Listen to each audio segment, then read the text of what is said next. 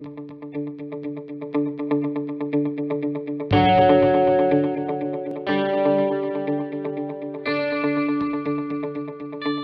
welcome back, everybody. It's time once again for another episode of Health Talks with Dr. Trinh. The one show, maybe the only show that shows you a path towards a healthier life and maybe a future without COVID. Could it really happen? Well, we're going to talk about that today, right, Dr. Trinh? Yeah, good to see you guys. Can you hear me okay? We Is can. the volume all right? Sounds good. Sounds good. So All we right. th- this is an amazing episode on so many levels. Let me see if I can set up some of my amazing. Uh, if I can Where's lay your up. voice? I can barely hear you. You can barely hear me. Yeah, How do I sound now? a little bit better. A little bit better because yeah, it looks fine. It, it may be just the volume on your end. Oh, but possibly. Let me see. Okay, I'm turning up my volume. Yeah. See if that sounds any better. Can you hear us? Oh, yeah, sounds great now. Okay. All right. So here's what I'm amazed about this more. I'm always amazed at the people you find to bring on this show, but this one's amazing on a couple levels because you're always bringing in kids who've worked with you in high school and your tongue out programs and other sorts of things. And I'm always saying today, our our general assumption is kids are, you know, lazy. They're millennials. They're uh, into video games. They're just wasting time. Why don't they get with it and save the world? They're not politically active. Why aren't they marching? Why aren't they doing something? I want. We want youth to to be. And yet, you bring in these kids that are saving the planet uh, and solving world issues. And here's another high school student today who's decided to tackle, on her spare time, I guess, COVID and COVID research, right? Welcome, Kate oh. Chiang, to the show here. Oh, on her spare time, she published five papers.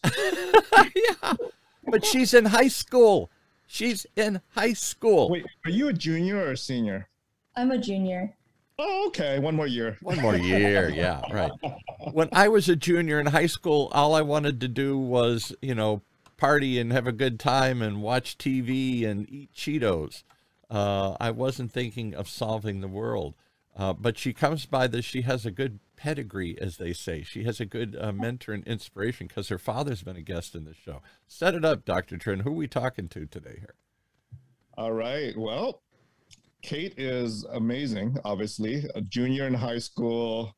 I was playing video games as a junior in high Yeah, school. we all were. she, but but her name is on five published journals, uh, medical journals, and uh, and she knows more science than ninety nine point nine percent of those that I uh, that I have met. Um, uh, she she reads articles and she's like, oh, she totally understands it. I'm like, Totally oh, understands it. Well, but th- this this didn't fall out of the sky. Uh, you know, the apple doesn't fall far from the tree. Your doctor, your uh, your father is who? Who's your father that you that's helping you with this stuff here? Uh, my father, so thank you very much for having me on the show and giving me the opportunity to speak. Also, thank you very much for the kind words. My father is a clinical professor of medicine at UCI, There you go. and he already has two FDA approved drugs for anemia.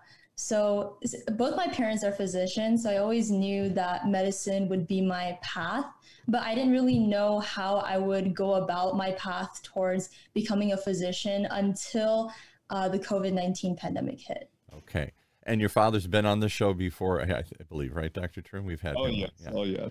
So uh, so you know, you know what you want to do already as a junior in high school. That's amazing. I mean, that's that's uh, uh, that's laudable. That's applaudable because so many of us are still struggling when we go through high school and college and everything, wandering, trying to find the path. Is it over here? Is it over here? And we try this and it doesn't go anywhere. You seem to have a pretty clear path. Um, do you think that obviously though your parents are successful and and, and did they imbue you with this clear path or did you just see them and say i want to do that was this them pushing you in a direction or you following in a direction It's quite surprising because my parents did not push me at all towards medicine. They just said they wanted me to be happy and pursue any path or career that uh, was passionate to me. But um, I always thought that medicine was really enjoyable. And I thought it was just fascinating. Science has always been my passion. So since both my both my parents were uh, are physicians, I decided to look more into medicine and realized how much it resonated with me. But let's re- talk to the reality here. You're a junior in high school. So what the heck are you doing? How do you even get your name on the thing? Is this in conjunction with your father or are you doing this on your own or a combination? I mean, how does a junior in high school get that kind of recognition? You have to spend years in these fields before they'll even consider publishing your papers. So it's most interesting. My father, he's the one who um, initially discovered this potential treatment for COVID. Okay. So he realized early in the pandemic that the immune response to COVID 19 would be the major factor in fighting off the virus. When COVID 19 first comes to the body, right, the body produces something called interferons to fight off the virus. Okay. A particular interferon that get that uh, makes the viral load or viral replication less is called interferon lambda. Mm-hmm. Okay. It is like the security guard of the body. Yep. For example, Dr. Trinh always says it's the little troops guarding the castle here. You know? Right, right. So yep. Instead of blocking the intruder um, when it's already upstairs, you want to block it at the entrance. This interferon lambda response is like blocking the virus from coming in at the entrance. But most fascinating is that the COVID 19 virus actually completely suppresses this interferon lambda response in the nose and the throat. Hmm. As a result, the virus is able to replicate in the nose and throat and come down into the lungs. So, my father realized that we should boost this interferon lambda response thereby preventing the virus from replicating. And this is especially relevant considering that new strains of virus are able to spread more rapidly and replicate a lot more, like Omicron. So, if we can boost the interferon lambda response, no matter the variant, we would be able to contain the spread. So, my father went on and uh, he discovered Ramatroban. Ramatroban is a drug that has been used for the treatment of allergies for the last 20 years in Japan. And he realized that Ramatroban has the potential to boost the immune response against the virus. Later on, it also turns out that COVID 19 causes blood clotting. Blood clotting, especially in the lungs, can prevent proper transfusion of oxygen into the blood and delivery of oxygen to the rest of the body, Blood clotting can also cause um, organ damage, uh, uh, especially to vital organs such as the heart and the brain. So it is essential that we prevent blood clotting. Yep. Interestingly, this drug, Ramatroban, also prevents blood clotting. So it was a perfect situation, and this drug um, has great potential in COVID. So, really, my journey began when my father asked me to create a figure for him to demonstrate this concept. On my own, I thought it was I was I thought it was so fascinating. I what, wanted to. I, I got to stop you for one second. So you mm-hmm. create a figure. What does that mean? I don't know what that is. That a computer model? Is that a uh, is that a uh, profile? Is that a algorithm? Yeah, yeah. I, I, don't know what a, you say. Create a figure is. So a figure is like an image to demonstrate the concept. So a lot mm. of uh, a lot of research papers they have figures and images to show yeah. the pathway uh, from going from one to the next. So it's so, like a drawing. It's an actual kind of a drawing. Right. Okay. Right. Infographic. It's like an infographic. There you go. All right. Yeah. Got right. it.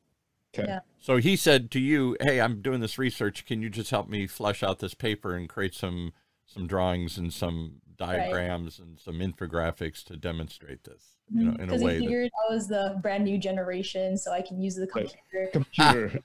yeah, every kid just knows how to do this. You're right. a kid. Automatic. Yeah. yeah. Okay, then, so you uh, he brought you in, it, and and this is going to be in a research paper. He's going to put your drawings, your images, your figures into his paper if he likes them. Right, yeah. And on my own time, I decided to jump into the science because he, when he first drew out the figure, I just did not understand anything.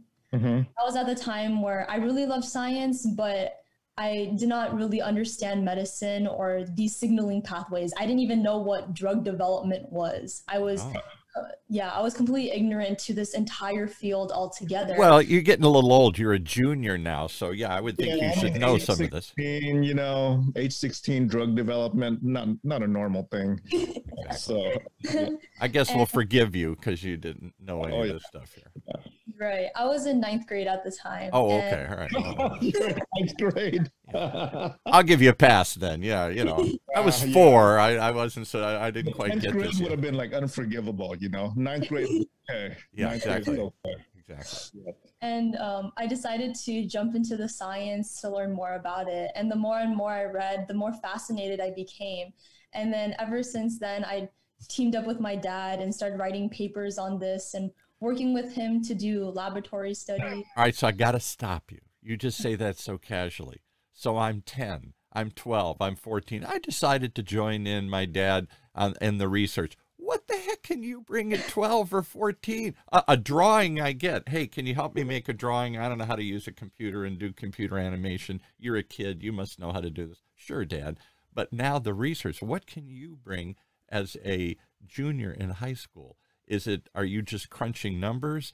Are you figuring out a, a pathway to research? I mean, I, walk me through this because I'm really, I'm sure I'm not the only one saying, what? What can a, a high school kid? I, I would be dismissive. I'm sorry to say. What can a high school kid bring to this? Maybe you could be. I think she's. I think you're writing some of the papers. Yeah, I am. So, um, yeah. I believe that learning comes. My head's exploding, but go ahead. That's all right. I believe learning comes from doing it yourself and messing up completely. I would prepare papers, but to be honest, they were really bad. They were terrible, right? But then my dad, he was very patient with me and he walked through how to rearrange it and make it flow. So I, I practiced so many versions of papers, I, I can't even count.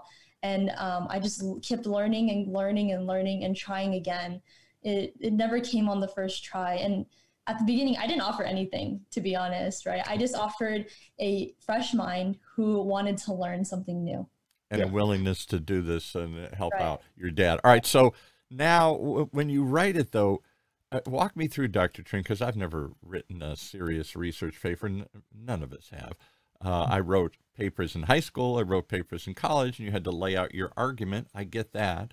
Uh, it has to be clear. At one point has to lead to the next. You mm-hmm. come to some conclusion here, and it's supported by the facts. You you make an argument and you yes. support it with the facts.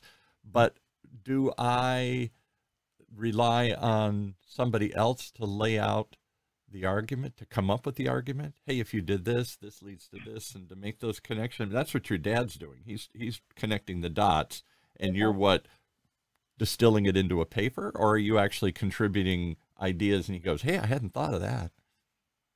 So um, it was a while back, and yeah, he he connected the dots, and then I would and he would explain it to me, and then I would prepare the paper and like draw an outline, and mm-hmm. it was very rough, and he would help me rearrange the the dots to make it flow better. Right. And now I'm the one writing the paper and writing the outline, making it flow nicely, and I think my most proud moment is when I write a sentence or two and I show it to my dad and he doesn't edit it at all. Wow. I consider that a victory for yeah, me. Yeah, right. Because he's uh, now, how was this accepted? These are in some sort of peer reviewed journals or something here? These um, are, this is not in just, uh, I don't know, some local paper or something, uh, some local throwaway newspaper. These are scientific medical journals, mainstream. Now, wouldn't they reject it because of you in your age, or do they not they just carry about they all they carry about is the argument and the science. They're not interested whether you're 16 or 60. Uh, content. Content. They care about the content, not the author. Yeah.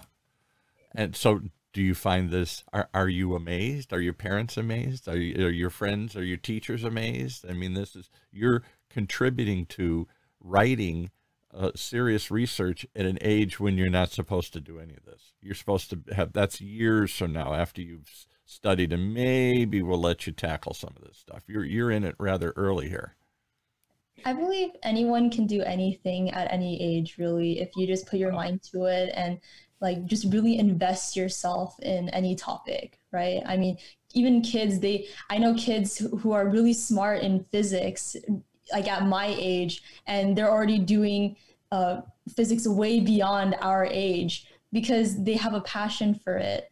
So for me, writing papers isn't about oh i'm a kid and i'm a genius or something i'm, I'm, right. I'm nothing like that i'm just out there trying to learn more about medicine and just contributing as best i can uh, to the to the medical knowledge. One of the things that surprised me uh, we this is a little uh, off topic but but i think it, it's appropriate here. We did a show a couple years ago on um, what it takes to get into college these days.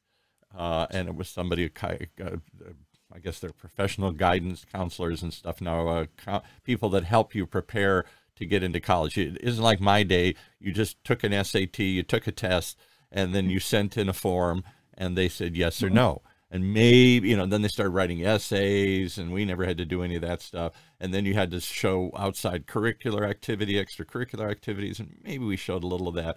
But it mm-hmm. it's become now you got to sell them because er, there are a million kids with straight A's. There are a million kids with good SAT scores. So what sets you apart are the extracurricular activities and the um, extra thought and argument that you make.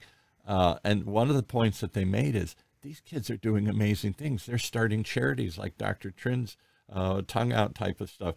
They're doing their own research. They're starting their own companies at 16 uh, and doing these things. It's almost like you have to be able to show that you cured cancer to get into Harvard these days.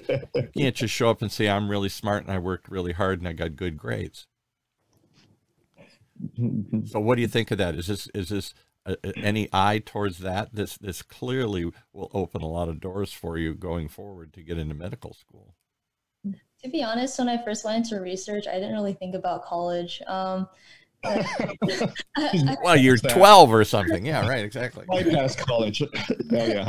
Um, yeah, I do. I do see at school how extracurriculars really help getting in, but I'm not really doing this for college. I'm just doing this as part of my passion and my career itself because college is only four years of my life, which is a very short time. But I'm yeah. looking past that towards my entire career and what would set me towards my goals uh, in terms of uh, being a physician and going to medical school.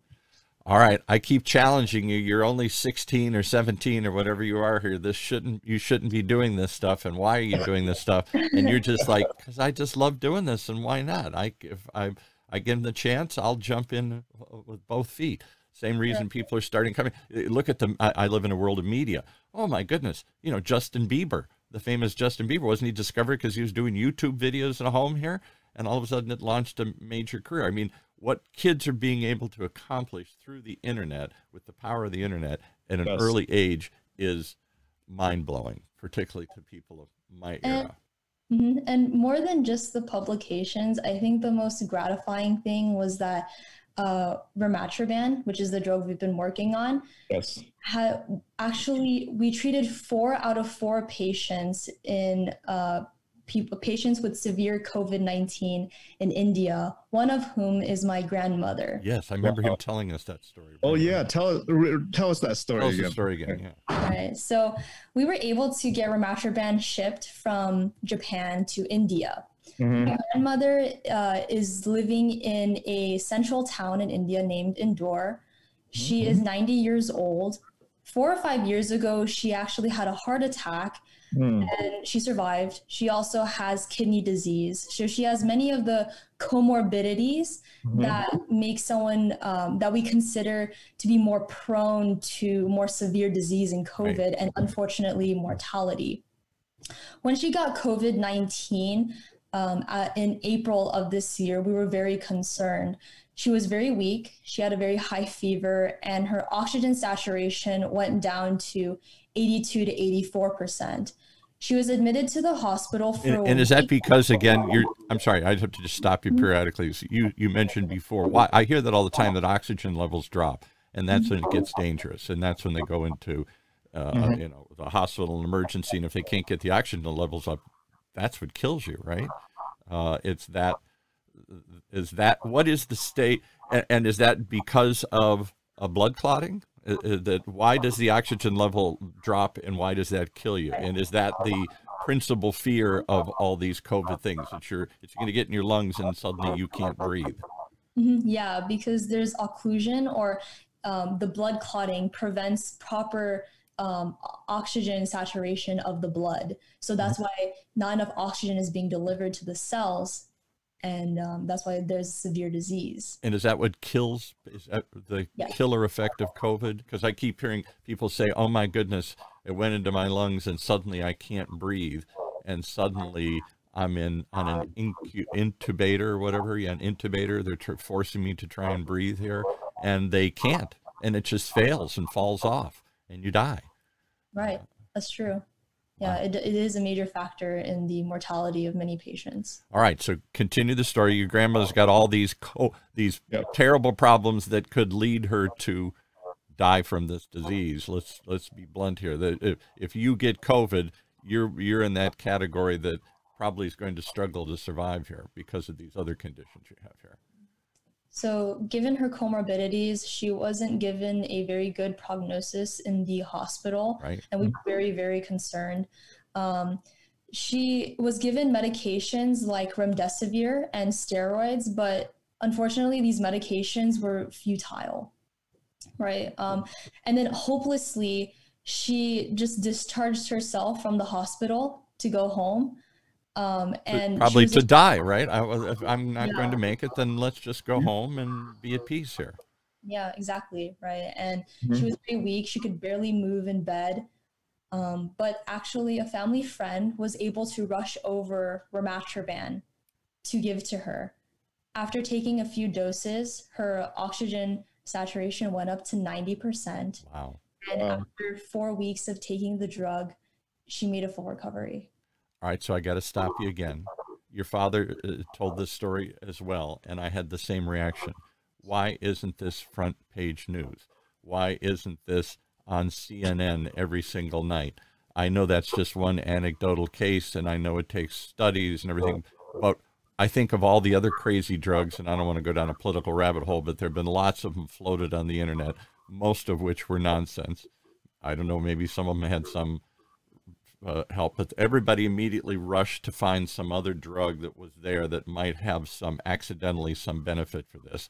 And there were several high profile ones that were presented and mostly dismissed. Now, not among everybody, but uh, so if you found one that seems to be the real deal, why wouldn't drug companies be all over this? Why wouldn't the news be all over this? Why wouldn't the presidential task force be all over this? Why is this why is this something I've not heard anything about? Um, there, there are several several reasons. Uh, the reason why a lot of drug companies are not interested in Ramatroban is because it's a very old drug. Hmm. So it is not very profitable since when a new drug is developed, companies they have patents on it. Right. So exclusivity for the next 20 right. years here, right. But, but, when the patent expires, anybody can make it. Right. Exactly. Right. So this drug is already 20 years old. It's not profitable. It's only a couple cents a day, so it's very cost effective. So I that's one of the reasons why um, a lot of companies are not really interested because it's not that profitable.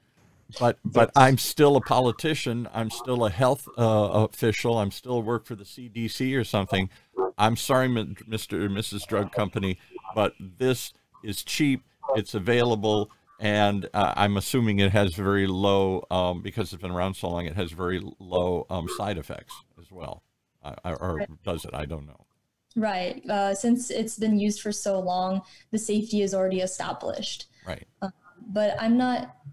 I'm not too sure why the government hasn't jumped on it. To be fair, um, we actually applied to clinical trials administered by the government in multiple countries, but um, they would send us a message that Ramatroban did not rise to the top. So we were. Um, I, I wonder why. I wonder why. I, I, have no idea. Like to like to be honest, I really don't know.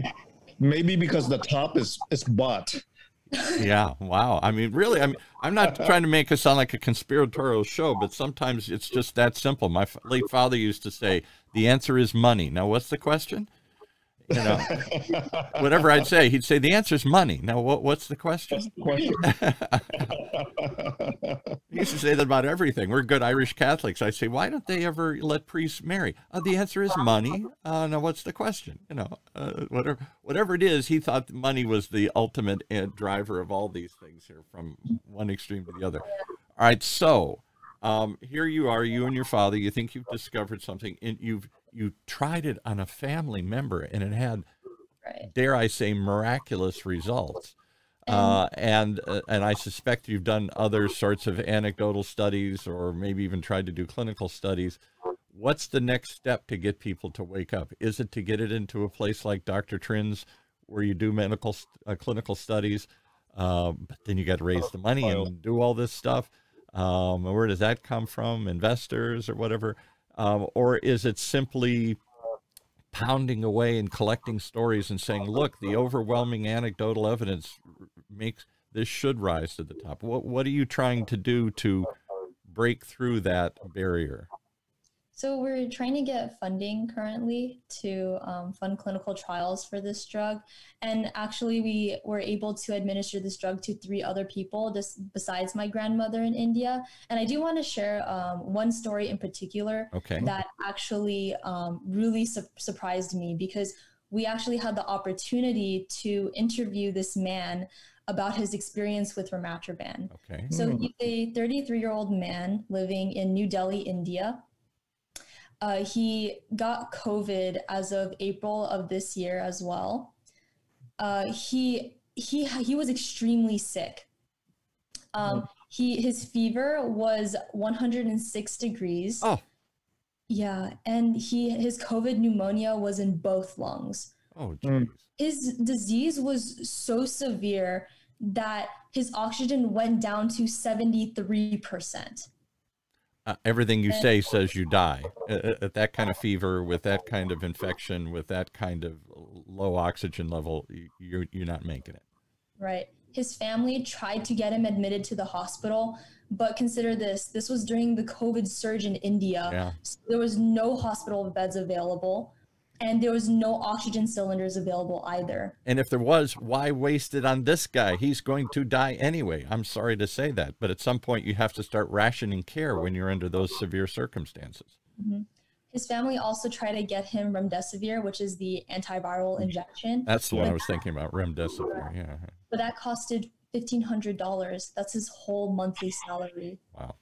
So it's not a covered thing in India where your insurance pays for it. You have to shell out money right for treatment. Right. Wow.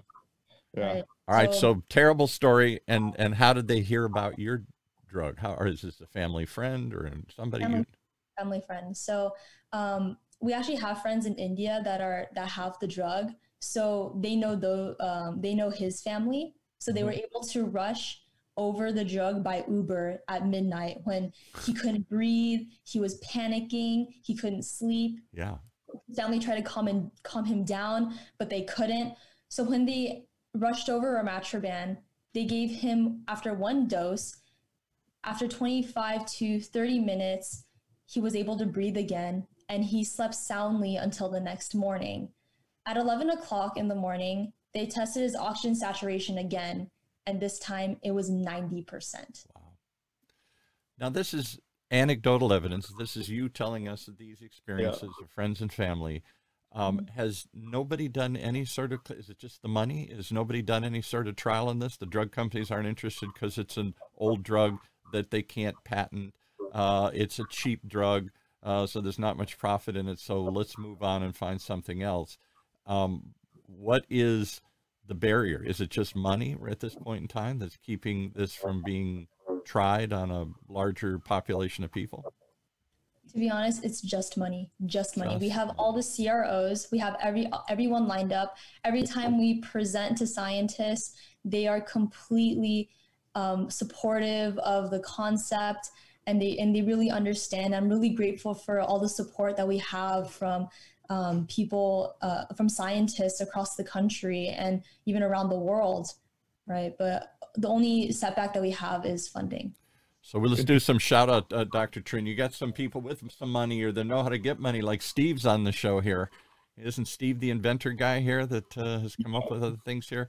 Uh, there, yeah, Steve, um, can you shout out some dough? Yeah, come on. We can do some studies. He's on Facebook watching us. Facebook watching us. Come on, Steve. We're doing a we're doing a plea for or others. I, I I'd love to hear from the Steves of the world. What is it you look for to? Uh, uh and this isn't Steve's specialty. And I understand I'm putting him on a spot here, but there are oh. people listening, or there are people here at UCI uh, that do medical research, like your father. He's a, a clinical uh, thing. Um, By the way, Steve's responding to us. He says he's very interested. What is the product production time? Okay. yeah. Give him some of the give us some of the details. What is are there there must be other barriers. I'm trying to find out what's wrong with this picture here. Um, uh, it's funding. It's funding to do the clinical research.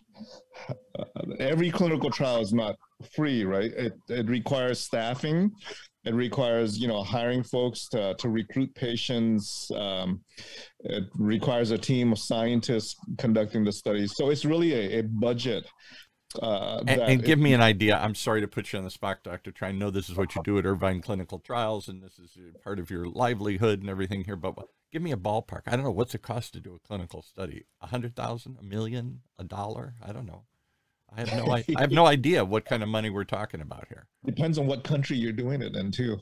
Does it really? Okay, so I mean, give me just some range. Somebody, give me some range of what kind of numbers we're talking about here to, to um, move this I forward. Think, and I think uh, I think for a Ramatroban study, right, which is the medication we're talking about here, we're we're looking at uh, we're not looking at the the thousands. We're probably looking at the millions. Millions, but okay. not like the high, high 100 million. It's probably, I don't know. Is there a ballpark number that that? Yeah. Do you guys, Kate? Do you have a figure? You, if money is the issue, then you must have thought through how much do we need and and what would it take to move this forward. I think a couple million. My dad knows more about the yeah uh, uh, money issue. But um, it's so it's that much money. It's a couple million dollars to uh, uh, that somebody has to invest. And then what's the potential? If the drug works you can't patent it. You can't because uh, it's a, a, publicly it's in the public domain. Um, and uh, so what's the upside for the investors? Uh, I, I know it might work seems like it has some potential to work but it, working means somebody's got to produce it somebody's got to make a profit from it here have you thought through that business model of it or is that the next phase um, She's the researcher. I'm trying to ask the business questions here. Okay.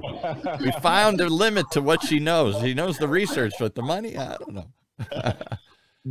no, but you're right. Like, like, in it, like, what's in it for an investor, right? Yeah, right. Is the question you want to ask. The business so, model. Right. So for pharma to do this, the farmer's going to say, "What is my return on investment, my ROI?"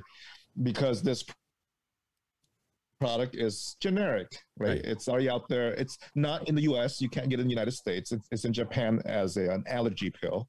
Right. Um, so pharma is looking at this med and say, you know, I can make a lot more money making a new product that I can patent than a generic medication that I can't make money on. So I'm not going to fund the research. So that's the problem. We we have lots of potentially effective medications out there that can be repurposed, right? Repurposed to treat other conditions, whether it's COVID or, or something else. But because they're generic, nobody wants to do it because yeah. the, the patent has expired and uh, so and let's get beyond big pharma and their evil profit greedy things we all have this that story plays out a lot and maybe there's some truth to it or maybe it's overblown but whatever it is uh, if ordinary investors wanted to get involved and say okay we're going to fight because I, I, the only thing that frustrates me is people say, well, big businesses, big something doesn't want to do this. But that's why there's nimble people that are disruptive that come in and say, well, if you wouldn't do it, I'll do it. Nobody wanted to do uh, electric cars till Elon Musk come, came along. Here was too much to invest, and we've, we've invested too much in the gas engine. Why are we going to change horses in the middle of the stream and all that stuff here? There are people that come along and say, I, I know this isn't easy, and I know this isn't where you want to go, but it's cheaper, it's better, it's more effective, it does all these things. And there are people that'll break through. But then there has to be a business model, how they're going to disrupt yeah. the system. And it seems that's like that. probably the challenge. That's probably the challenge to, to get funding is what is the business model for yeah for somebody to to invest, right? There must be a business model. Think, Kate? Any thoughts on that? So uh, originally, we didn't really think of a business model as per se because uh, we were trying to depend on government funding so we don't have to pay them back. Right. But since right. the government did not um, yeah. give us funding on the first go, we do have use patents on this drug. So um, in the US, we can patent uh, uh, old drugs for a different purpose. Right. So a use patent. It's a you're going to use it. It's a, it's it's never been used for this, and we can patent its use in this. Right. Right. But we even told the government that we will give them a license um, free um, right to the patent. So basically, they don't have to pay us back any royalty, royalty free um, use of the drug because we really believe that this drug could benefit many people. But I'm not. But I'm not saying this is the treatment for COVID because we okay. have to verify yeah. through the um, study, through the through studies, through clinical trials. But I really believe that if um, the government is willing to take it, like we're happy to do a royalty free license. Any other doctors coming on board? You've, you've published peer review things. Are people other lining up and saying, "Hey, this sounds promising"? Because I would think that, uh, let's say the CDC. I don't know exactly how the Center for Disease Control works. Uh, and what their role is in all of this, other than alerting people to the problems and maybe funding some sorts of research. I don't know if that's the entity that would fund research into this uh, or give you money to pursue something. But that's the that's the tip of the spear that we always hear. The Center for Disease Control. They're on the ground. They're trying to figure out where it is and alert public health officials and and find ways to control. If this was Ebola ripping through the country, we'd be treating a lot differently. If 99% of people were bleeding to death out of every opening in their body, like Ebola, we would suddenly be paying a different attention to this. But because it has too many people think it's just a severe flu that can kill old people with other conditions. Ah, who cares? Um, that may be my uh, old guy viewpoint here. But if this was ripping through children, I think we'd have a different priority than if it was ripping through people uh, my age and older here. Having said that, what would move the CDC's mind? Do they need more Dr. Trinhs? Do they need more researchers calling up and saying, "Hey, really look at this. They're they're onto something. This this has promise. This has potential." Because they're yeah. not worried about the profitability of it. They're worried about the, the the success rate. Or they only got, as I've read before, they've only got so much. As big as the federal government is, right. it's a machine, and when they move it in one direction, they can't do they're not very nimble. They can't do 20 things at once here and they do have a limited amount of attention more than money. Where can we focus our attention and where are we going to get the biggest bang for our result here? And if we go down this path and ignore this then are we putting ourselves two years down the road? We've wasted a couple of years here. So they're trying to guess what's the best one to bet on here Mm-hmm, right. The horse race is taking off, and there's a bunch of horses, and I got to put my money somewhere here. How do they decide I'm what to bet here, on? I'm sitting here looking at uh, clinical trials that are coming out on COVID treatment with uh, with smaller pharma organizations, uh, not the big, you know, Eli Lilly or you know the Novartis and Biogen. Right. The the smaller pharma, even if they have great great data uh, there's often a higher barrier to get attention. Yes, that's right. That's an attention issue. and how do you get people know, to pay attention? Right.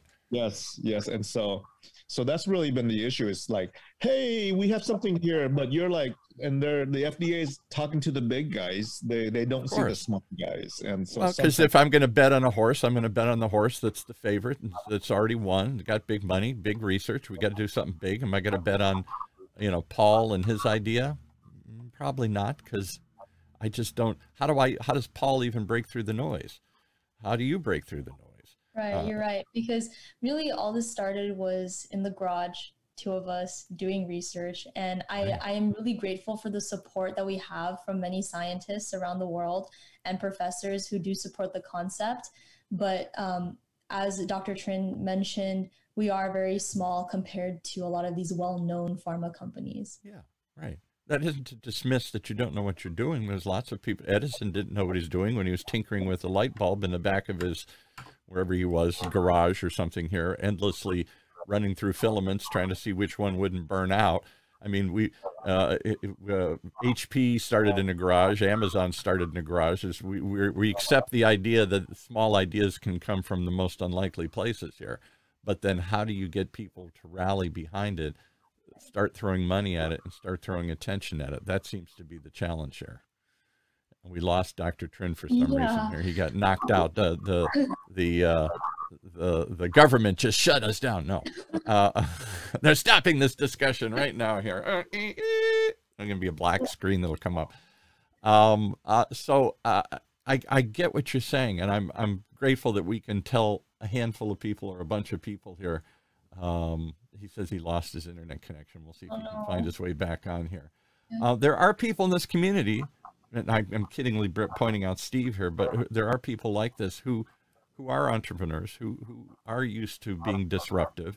Uh, uh, there are lots of disruptors here at UCI at the Applied Innovation Center. Uh, there are, we're all looking for disruptors these days.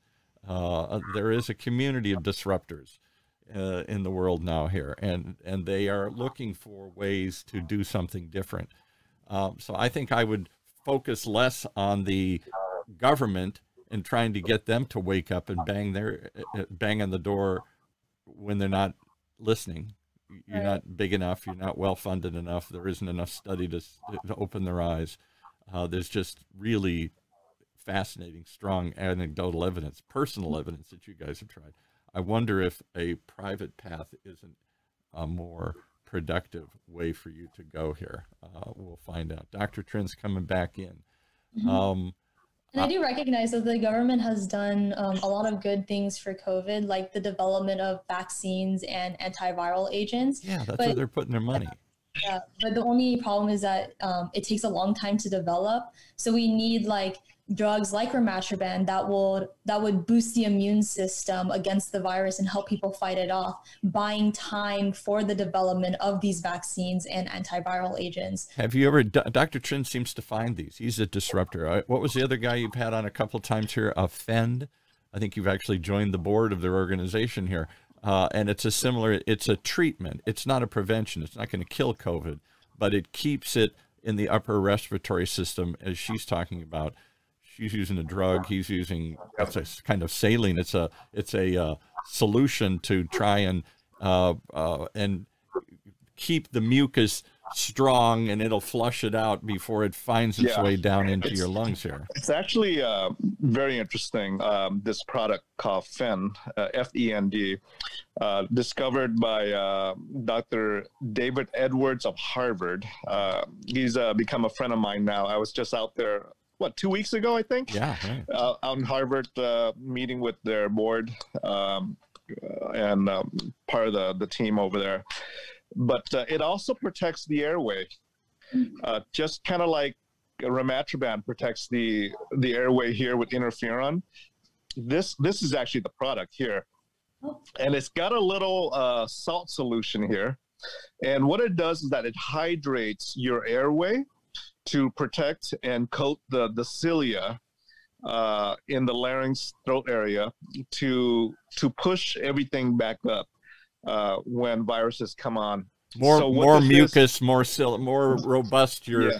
the, you can flush yeah. this. Your body will flush it out before it gets in and into your lungs yes. and starts clotting. So, and yeah. so you just inhale it. It's a little mist. Watch. I don't know if you see the mist. See it? Oh yeah. You just inhale it. It's like a little drug, except it's not a drug.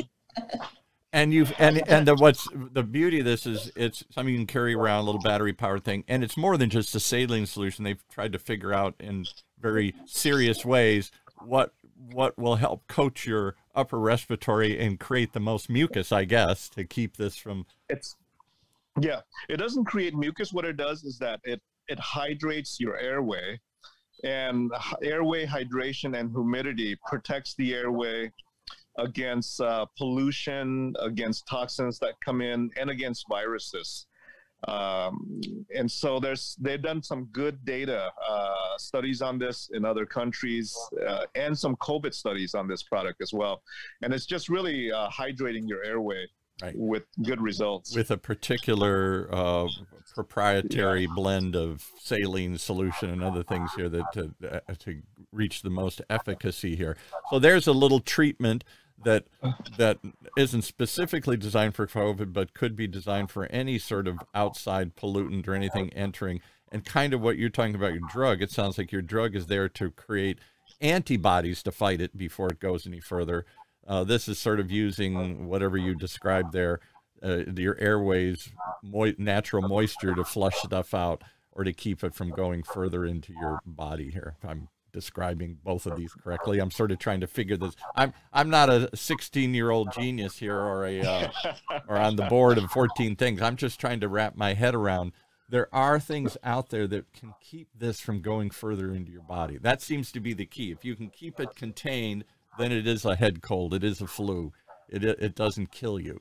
But when it moves from here into your lower lungs, that's when death can occur or serious disease and, can occur. And I think that's what's behind the the idea of Ramatroban is it's not necessarily COVID specific, but it strengthens your body's defenses it strengthens your body's immune system to to fight the viruses when they come and uh, and not only does it that but it blocks it blocks uh, pro clotting factors right. in the sense that um, you know covid is a clotting problem uh, covid because of the inflammation that that comes from this infection it increases the body's uh, clots, blood clots, and those blood clots, if they're in the lungs, it causes pulmonary embolus. If it's in the brain, it causes strokes. Uh, if it's in the coronary vessels, it causes heart attacks.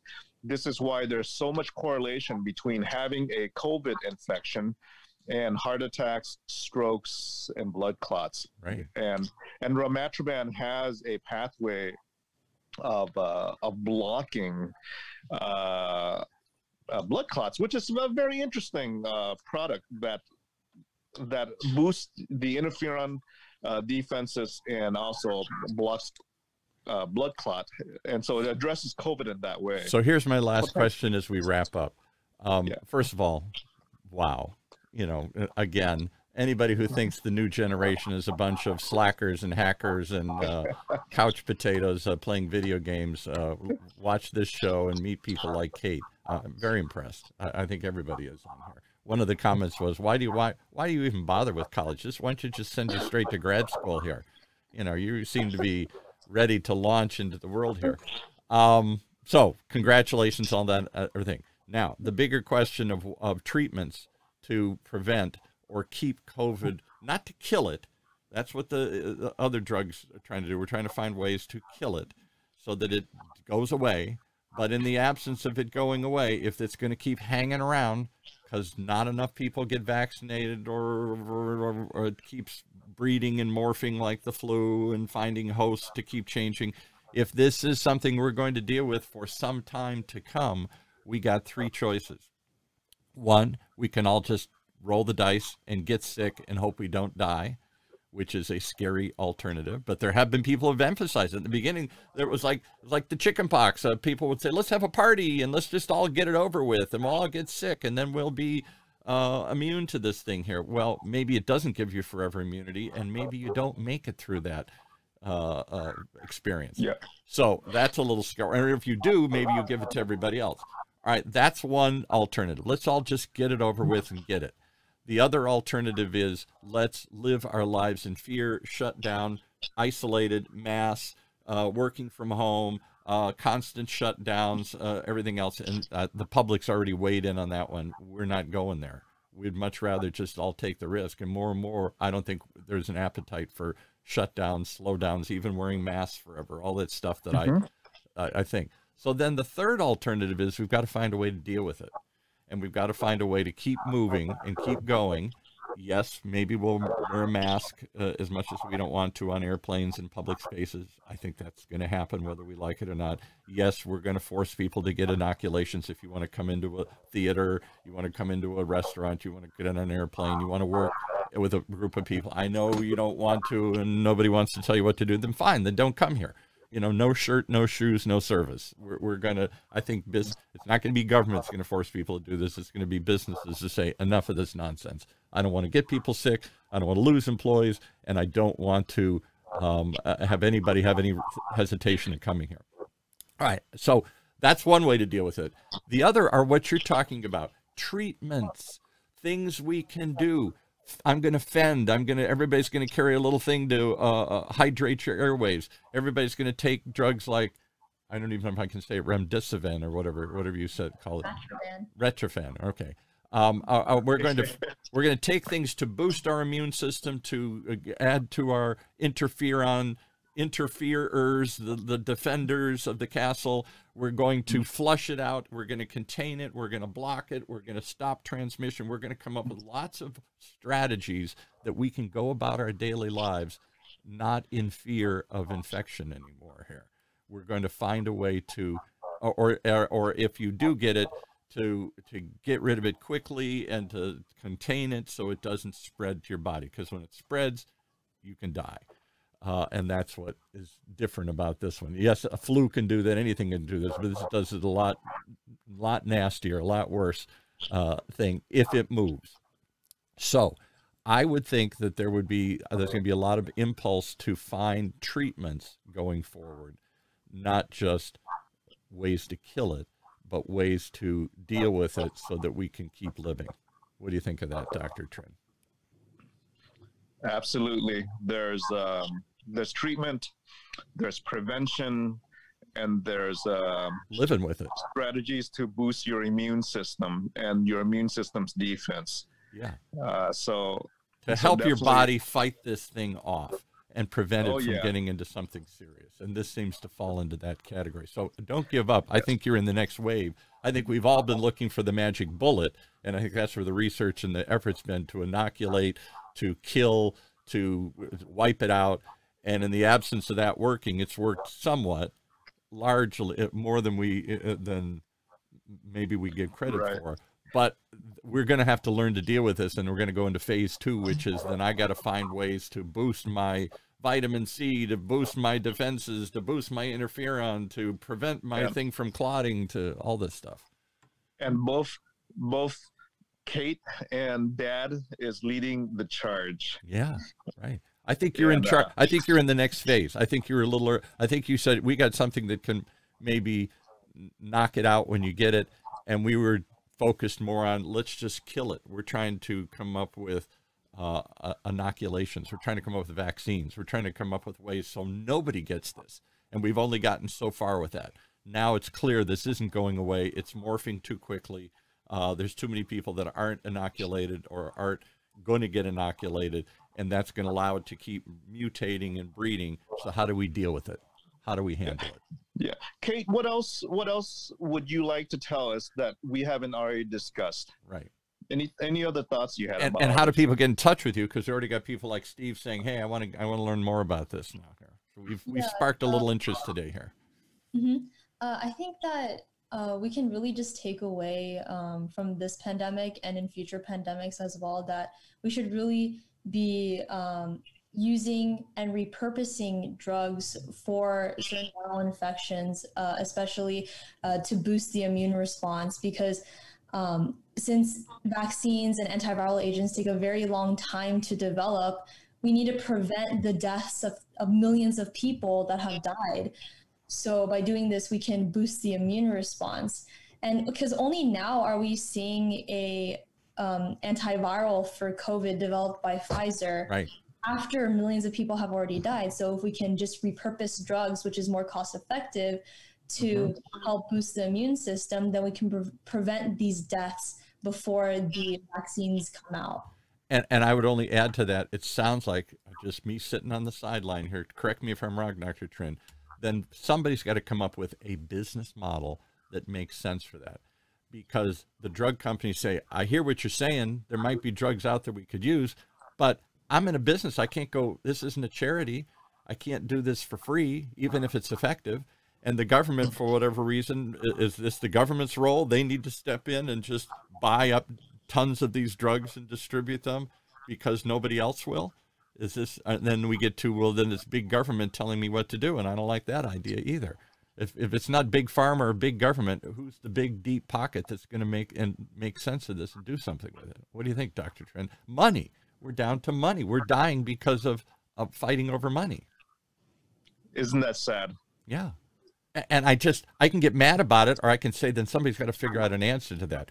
Somebody's got to. Is this a public uh, welfare program that government buys and distributes without any hope of profit here, because yeah. it's the, in the public good, or uh, is that not the right model? And there's somebody else that can come up with a way to take this and repurpose it and come up with use patents and other ways to uh, uh, to be more nimble and to still make money and to still profitably produce and distribute this thing so that we encourage capitalism what it's supposed to do is go find an answer when nobody else can right kate how do we reach uh, your organization or how do we reach you or dad yeah. is there a website or an email when people are interested in this uh, so we have a we actually created a company around this called KARE Bio uh, mm. biosciences. So, but it's care with a K. Okay. Got it.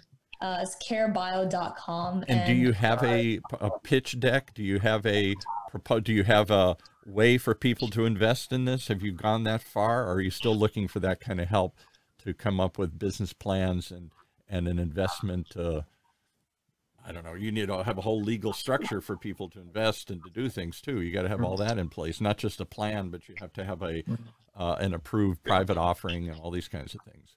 Uh, my we, we have a pitch deck so um, on the website we um, have the email that uh, where people can contact us and uh, my dad has a pitch deck so he can present all the financial details of this and um, uh, other information karebio.com is that right yeah so k-a-r-e-b-i-o dot com Mm-hmm. Well, it must be frustrating to feel like you found an answer and nobody's listening. Uh, yeah. We're appreciative that you uh, will do what we can through our uh, local voice and our local community, and who knows where this could lead to. But I think you've got to start shifting your mindset. It, somebody's got to just step up and say, "Is this the government's role then to take old drugs and to use them on the public good?" And this is just something we pay for. That's why we collectively pay taxes and have a government or is this something the private industry can uh, a nimbler organization can step up when the big guys can't or won't or don't because it's too expensive and they're too committed to some other course of action that they think will make them more money. Because there's always an opportunity uh, opportunity is what investors are looking for. Show me where nobody else is going and i'm interested. And you're going somewhere with some real interesting uh, you know stories and facts of a drug that's already available. And do you are there others? There must be other drugs. There's millions of drugs out there. There must be other ones that people haven't investigated yeah. and looked at. This could be a oh, whole yes. new strategy. Yeah. Well. Oh, Kate, what do you think of the metaverse? The metaverse? this is Dr. Trinh's fascination. If, if don't live in the real universe, live in the metaverse, and you, we're all going to go on and we'll put a little uh this these little fake worlds we're going to go live in second life or whatever and we're all second going to uh, do oh, communicate oh, yeah. with each other and Ro- yeah. my little grandson's in Roblox. You know, you build these little private uh, worlds and invite everybody the to come. Metaverse in. is coming, Kate. You gotta be, you gotta lead the charge, Kate. Yeah. Metaverse. So he's open. Their company's actually opening up physical locations in the metaverse, so you can come and buy stuff using this little fake Bitcoin kind of currency that people. Oh yeah. It's so if the real were yeah a metaverse pharma that's what Steve says we're gonna have if the real universe if the real world ain't paying attention then go into the metaverse they're open to everything here.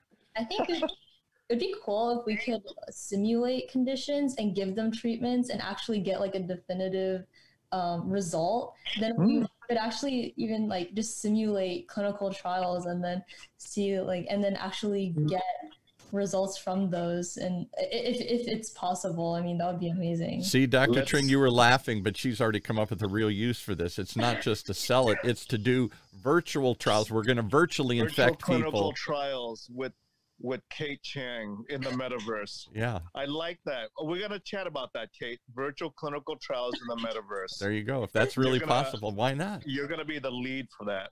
That'd be awesome. She'll be on the cover of Time magazine. We don't need to do physical trials. We do virtual trials in the metaverse here. And That's somehow we get good data back and everything here. That's right. Let's build that. That's awesome. You you're in charge. All right. Well, fascinating discussion from a fascinating young woman who's just casually uh, telling us, uh, "Yeah, I'm working to solve uh, for uh, COVID treatments. My dad and I, and I'm writing papers, and we're doing research and everything. What do you do all day? I mean, do you just crunch numbers? Do you look at other, search the internet for other studies and examples? Are you are you doing? You're not doing any research right now on this, other than just here and there trying it on people, but what what do you do f- to research this thing? What does Kate do every day on this project? Um, most days I'm at school, to be honest. School. There's no time for that. oh yeah. Pull her Oh, out. yeah. She, she's got to finish ju- ju- high school English, and you know. Yeah, what a know. waste. Get out of that. Yeah. Drop your history Oh, class. wow. Let's go Cool. here. Yeah. Yeah. Homework. Wow. yeah, right. Do you ever look at yourself and say, "Why am I doing this silly homework on this? I could be solving the world's problems, but no, I've got to figure out. I got to write a paper on, uh, you know, George Oh, yeah. Washington. Yeah, exactly. I still do learn. I, I still do learn a lot from school, and I think that it keeps me grounded. it does keep me grounded in school, and um, also like I, I really believe like um, I learned how to walk before I fly. So um, school is like learning how to walk. Right? I don't know. You're flying pretty high already here, much Uh, higher you're than I already was. running, man. Thank you for coming on. Keep coming back and keep reminding us as you reach milestones. As you, uh, you know, we'll we'll be a voice for this. As Yes. as and like FEND and all these other things, because I really do think that's the next thing. We're going to have to learn to live with this, and that means we're going to have to have treatments that boost our immune system, boost our interferon, boost our hydration, and we're going to do everything possible so that we can go back to living with this thing because it ain't going away. That's clear. Oh yeah. Oh yeah. Well, neither we. Great. We're not going away. Dr. Trinh, off next week for all those listening. Yeah. That's our one week down between Christmas and New Year's. So just have a wonderful holiday and see us back in January. Any uh, upcoming hints? What are we going to see? And you come up with these people, Dr. Trinh, FEND, and these guys and stuff. What, where, how do you find them all? Are you just searching the internet for this stuff all the time here? Uh, I don't know. Word of mouth. Sometimes Somebody they says, hey, listen to this. they're they're just conversations I have with people, Yeah. and and uh, I'm like, that's a cool conversation. Why don't you come on the show? yeah, exactly. We'll see where it goes. Well, I hope uh, you, you got Steve's interest this morning. He's certainly somebody who's raised money and knows how to do things. Uh, yeah, I'm gonna connect you with some folks, Kate. You and Dad. Thank you. and we'll Yes. see if we can make turn this conversation into into some sort of reality. Uh, we don't want to just live in the endlessly in the metaverse and pretend. We want to get stuff really done here. So, all right. Thanks for coming on. Thanks for a great year, Dr. Trinh. We'll see you next uh, year. We'll see you in a week in 2022 as we relaunch and Yes. uh, season the next season of Health Talks with Dr. Trinh. Bye. One more reason why you should tune in each and every week and tell your friends too. As we take a look at, well, we have talks, conversations about topics on everybody's mind. Throw out some ideas, good or bad.